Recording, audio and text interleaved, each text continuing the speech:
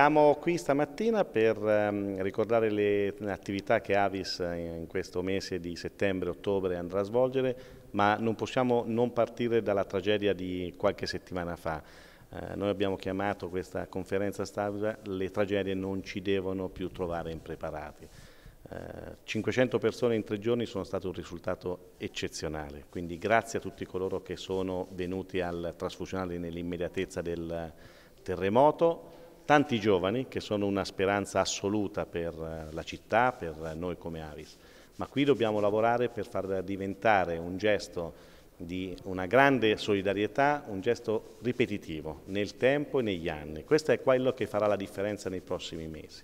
Poi presenteremo l'iniziativa uh, Un dono in comune, Perugia ha partecipato a un'iniziativa ANCI per quanto riguarda um, questa manifestazione che vedrà il culmine il 4 di ottobre, eh, a donare, riporteremo a donare anche i politici come esempio per quello che possono essere i politici eh, noi molte volte le additiamo per eh, qualcosa di brutto, invece a Perugia riusciamo a fare, in maniera trasversale perché è aperta chiaramente a tutti e tutti partecipano. E il 4 di ottobre avverrà questo, poi tutti i dipendenti lo potranno fare fino al 16 di ottobre, è un'altra cosa importante e questa è una cosa che ci fa piacere, ci fa onore, ci, fa, ci dà speranza, nell'ottica che dicevo prima, far trovare la città sempre pronta a qualunque evenienza. Questa legge di fatto eh, non ha cambiato nulla al momento, ha solo reso ancora più sicuro quello che è un passaggio importante che è la donazione.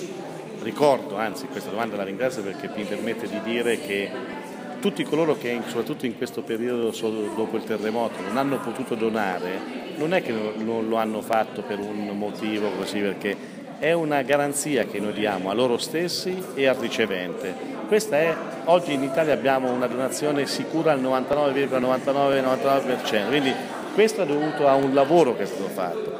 Eh, mi preme sottolineare proprio in, dopo il terremoto la grande disponibilità che abbiamo avuto, soprattutto dei giovani. Questo è un passaggio per noi fondamentale perché ci dà speranza come Avis e come cittadinanza in genere.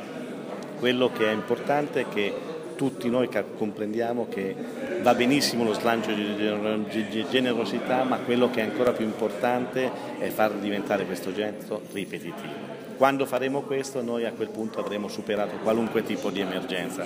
Infatti se lei vede il titolo dell'E, mai, nessuna tragedia ci dovrà trovare impreparati. Questo per noi è un motivo di... Poi per fare questo mettiamo in moto mille, mille iniziative, la giornata del dono, l'iniziativa con il comune, ma fondamentalmente noi vorremmo trasferire questo concetto che per noi è importante. Diventare donatore periodico di sangue aiuta se stessi e aiuta poi la popolazione. Grazie. Grazie a lei, grazie a lei.